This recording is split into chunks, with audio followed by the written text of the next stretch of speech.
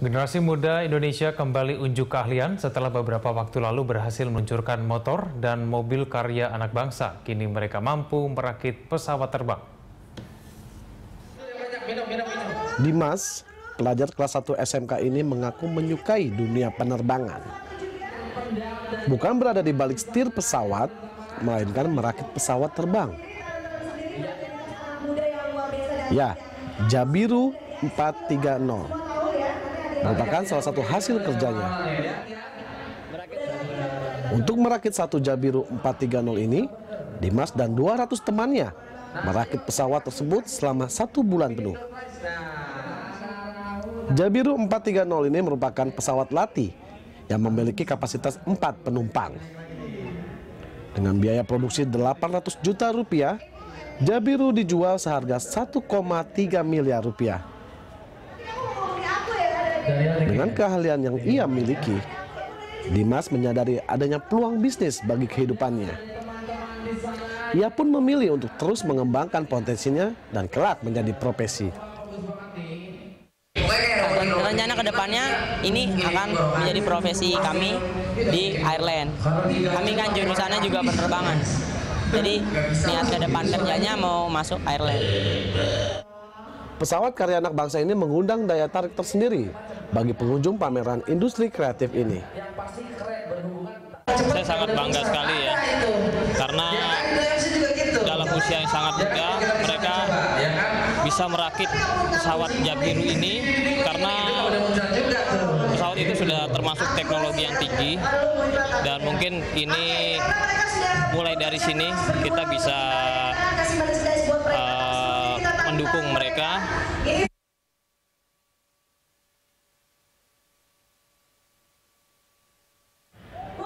Selain pesawat Jabiru 430 ini, dapat pula mobil yang turut dipamerkan. Semua ini merupakan hasil rakitan pelajar, yakni SMK Negeri 4 Jakarta. Keahlian di dunia mesin yang ditunjukkan anak bangsa usia sekolah ini merupakan wujud konkret kemajuan suatu bangsa. Semakin luas bidang yang dirambah generasi muda, semakin dekat Indonesia menuju kemapanan ekonomi. Nia Kayadu, Chris Dianto, Berita Satu, Jakarta. Oke. Ya, jadi Ya, itu adalah informasi mengenai anak bangsa yang bisa merakit pesawat terbang. Itu juga prestasi yang luar biasa ya. Saya kembali ke Mas Timo. Mas Timo, yeah. kalau kita cermati tadi kita sudah berbicara sedikit paling tidak mengenai kendala ya. Tadi yeah. sudah disampaikan bahwa kendala pelaku industri kreatif ini, pekerja kreatif ini susah mencari pekerjaan. Nah, mungkin ada kendala-kendala lain yang mungkin Anda temui dulu pada saat Anda ingin bergerak sendirian. Mungkin tadi lulusan perfilman ya, Mas yeah, Timo ya. Yeah, nah, itu apa? Apakah mungkin dari bidang permodalan atau apa? Mungkin bisa cerita lagi. Sebenarnya kendalanya satu itu kita punya exposure hmm Itu um, orang kreatif di Indonesia itu kurang, kurang terekspos. Akhirnya makanya mereka nggak bisa ditemuin, nggak mm. bisa dikembangin gitu. Kedua um, kesempatan, opportunity itu juga kita uh, butuh sekali gitu ada kesempatan itu karena itu yang akan mengasah skill-skill kita untuk bisa lagi lebih baik mm-hmm. gitu. Mm-hmm. Uh, kalau secara saya sekarang ini mungkin kendala saya terbesar adalah menyampaikan berita ini. Kalau ada satu uh, platform ini ke orang-orang kreatif di Indonesia. Hmm, hmm, itu okay.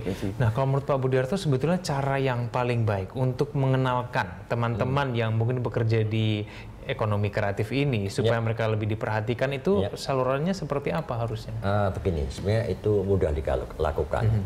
asal semua uh, care dan aware. Hmm.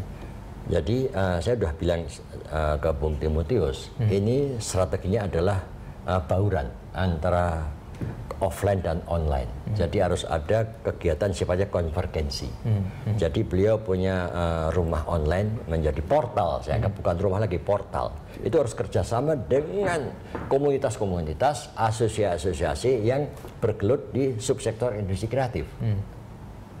Bisa mudah dilakukan. Bisa ada pameran, ada workshop, ada hmm. apa. Hmm. Beliau harus melekat. Hmm. Beliau harus inform ke hmm. publik atau ke community. Hmm bisa dilakukan, nggak nggak sulit. Dan, dan kalau misalnya untuk mengenalkan kemudian itu kan pasti teman-teman ini kadang-kadang ingin mengembangkan usaha ini kan kadang-kadang butuh modal. Nah ini kalau menurut anda untuk uh, memodali teman-teman ini bagaimana caranya? Justru itu uh, tadi saya sudah sampaikan tidak hanya dana APBN yang ada di Kementerian KUKM hmm. melalui LPDP itu bisa diakses, hmm. tapi juga eh, teman-teman uh, ini uh, kan banyak yang di layer uh, usaha kecil atau menengah mm -hmm. atau kecil lah ya, mm -hmm. karena mereka rata-rata masih startup bisnis. Mm -hmm. Jadi perlu uh, keterpanggilan dari dunia usaha, mm -hmm. baik pusat maupun daerah untuk menjadi bapak angkat mereka. Mm -hmm. ya, itu penting sekali. Mm -hmm. Misalnya BUMN dengan uh, CSR-nya atau dana PKPL yang 5% mm -hmm. itu harus mm -hmm. nanti didistribusi untuk juga membina startup bisnis, tidak hanya mempromosikan mempromosikan mhm. media pameran. Mhm. Mereka yang harus dibina. Mhm. Juga dunia usaha, CSR dari uh, perusahaan-perusahaan itu kan juga mampu mereka untuk membina mereka di lingkungannya.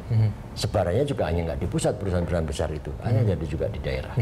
Terus juga Pemda, okay. Pemda juga punya dana untuk pembinaan entrepreneurship. Jadi memang ada sebetulnya cara-cara untuk itu ya, ya Pak Budiarto. Ya, saya ya. kembali ke Mas Timo. Mas Timo, ya. kalau kita berbicara mengenai permodalan, ada juga jalan lain misalnya untuk mengembangkan usaha kreatif ini dengan cara mencari modal. Nah ini untuk teman-teman selama ini apakah mereka menemui kesulitan untuk melakukan mendapatkan pemodalan itu? Lalu selama ini mereka ke mana? Kalau misalnya mereka tidak mendapatkan perhatian dari uh, investor gitu katakan. Mm -hmm.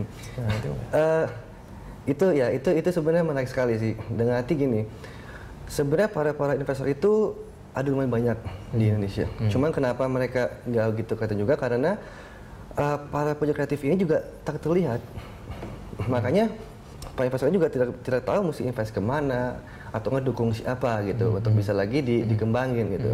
Hmm. Ya, uh, cuma kalau untuk saat ini kebanyakan member-member di uh, situs saya ini hmm. lebih pekerja-pekerja uh, sih, bukannya hmm entrepreneurs gitu. Hmm, gitu masih gitu. kurang untuk entrepreneurnya masih ya? belum, ya. Baik, kalau belum. Mas Timo kalau Anda cermati dari banyaknya anggota, tadi ada 700, hmm. itu hmm. kebanyakan semua bekerja sebagai apa? Kan industri kreatif ada begitu banyak nih. Hmm. Mungkin Anda bisa membagi-bagi, kira-kira sebagian besar itu bergerak di bidang mana sih?